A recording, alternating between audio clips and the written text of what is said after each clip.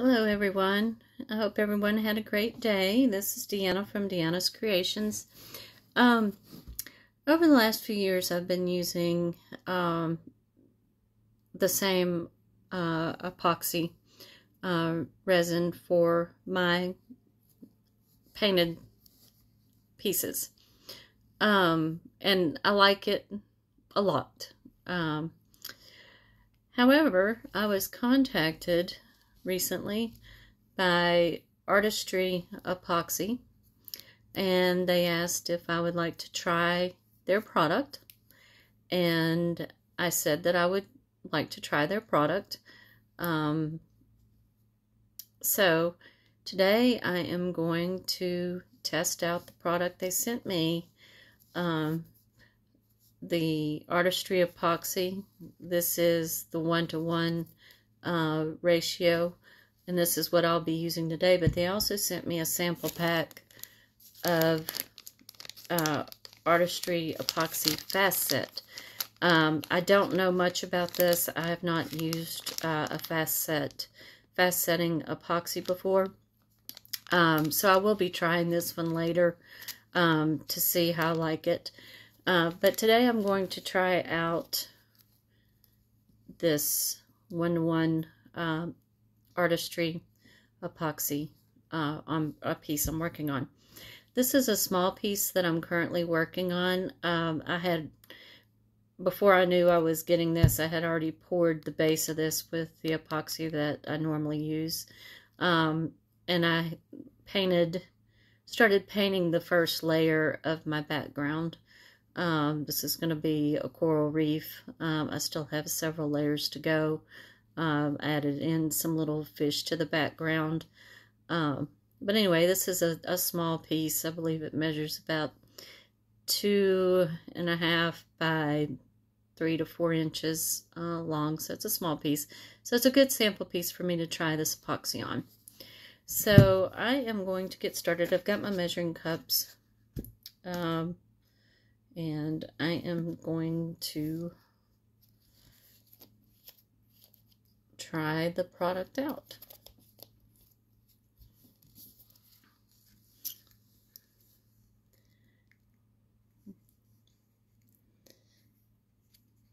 I'm always game to trying new product.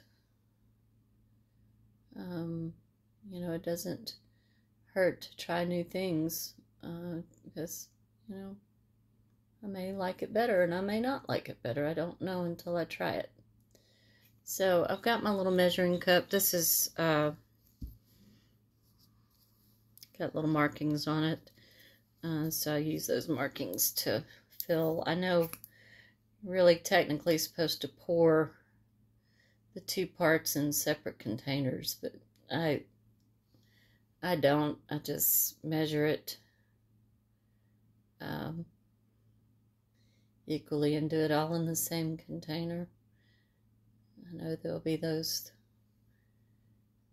that say I need to do it separately and mix and and I'll just do it the way I normally do it. So. Anyway, almost got this equal amounts in my container. I like the little squeeze bottle this came in. That's that's convenient. Okay, I've got my two parts here. I've got my popsicle stick and I am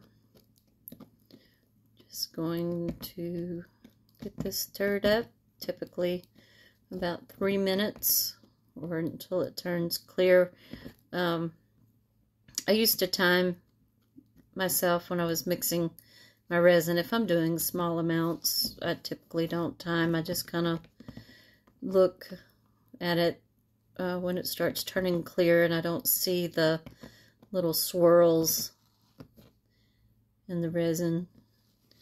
Always make sure that you're scraping the sides. One thing I've noticed, um, real quick, there's not a strong odor. In fact, I don't want to put this up to my face, of course, because I'm not going to do that. But uh, I don't smell anything. I don't... Um, this says it's a thick epoxy. Uh, it's mixing really nicely. Um, I've got some air bubbles. But I'm not too worried about that. I'm, since I'm pouring just a thin layer, I'll be able to get the uh, bubbles out with my heat gun. Um, I do use a heat gun. Some people use like to use a torch uh, with their resin. I personally I prefer just to use my heat gun.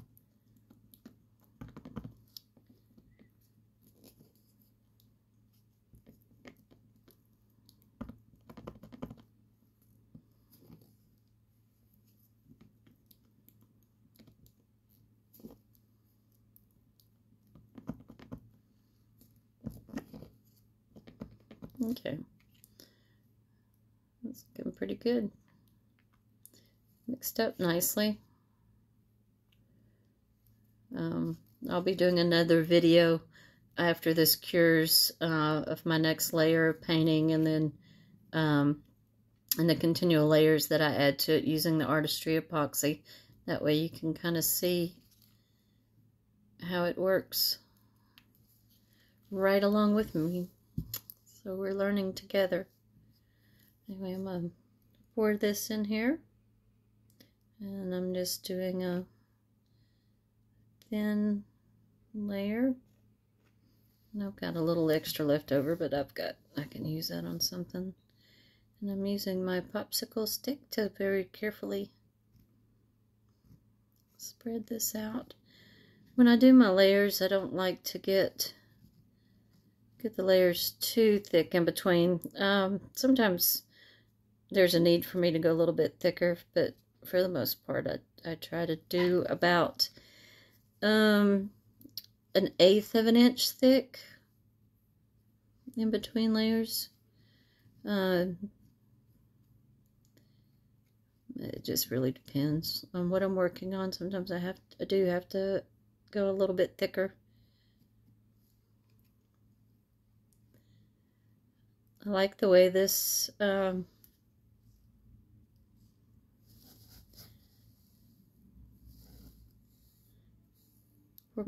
is moving around nicely. I'm add a little bit more. The resin, not a lot, just a, a dab.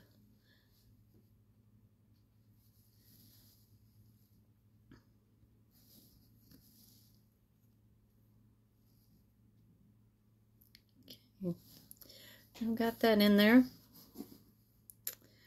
You can see. Turn this around so you can see. That's what it looks like. I'm going to take my heat gun. It's going to be a little bit loud, guys, so please bear with me. I'm going to move this off to the side.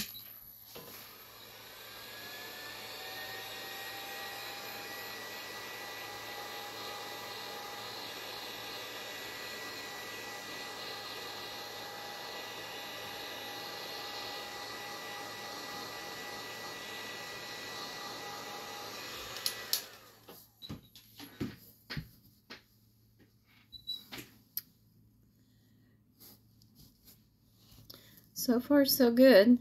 The bubbles popped. Just gonna, since I heated that up, it's, and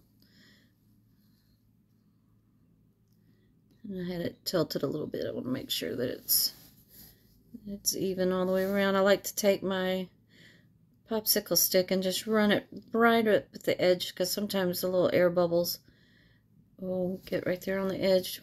Which doing an underwater scene, um, the air bubbles it's not a huge issue. Um, for me, it isn't. I mean, especially if I've got using some colorant uh, for my back background, like I did on this one. But anyway, that's what it looks like with the second layer, or with a layer of the Artistry Epoxy. Again, tomorrow I'll do another view to kind of give you my thoughts on what it feels like, how uh, hard it cured, um, and then I'll be painting another layer and I'll wait and paint the layer um, so you can kind of see my technique a little bit of how I paint uh, between the layers of resin. Anyway, um, so anyway, it's Artistry Epoxy. Uh, and we'll just see how it goes the rest of uh, with the rest of this project. Thank you for joining me, and I will see you soon. Bye.